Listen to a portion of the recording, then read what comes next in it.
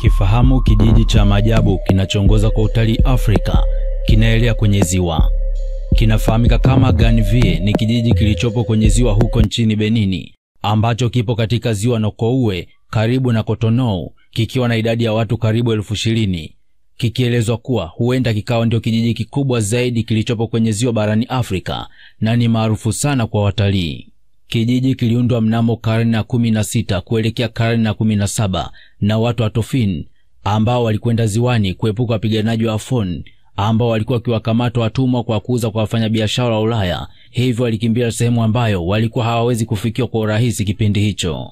Unaambiwa kuwa licha ya kukimbilia huko, watu wa kabila hili la Tofin walijitahidi kukifanya kina cha ziwa hilo kuwa kirefu na visiwa vya ziwa Nokouwe na wakatengeneza bandari yao maalum.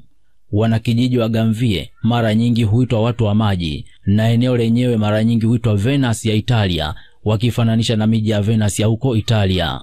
Hapo awali walitegemea kilimo, ingawa kwa sasa kazi kubwa inayowapatia kipato kikuu cha kijiji hicho ni utalii, uvuvi na ufugaji wa samaki. Njia pekee ya kusafiri kwenda na kurudi kijijini hapo ni kupitia boti za mbao. Unaambiwa kuwa watu wanapenda kwenda kutalii katika kijiji hicho, sio tu kwamba ni kizuri, bali kuwaona watu wanaoishi katika eneo hilo, pia na jinsi maji yalivyowazunguka na njia zao, vyombo vya usafiri ambavyo ni boti za mbao.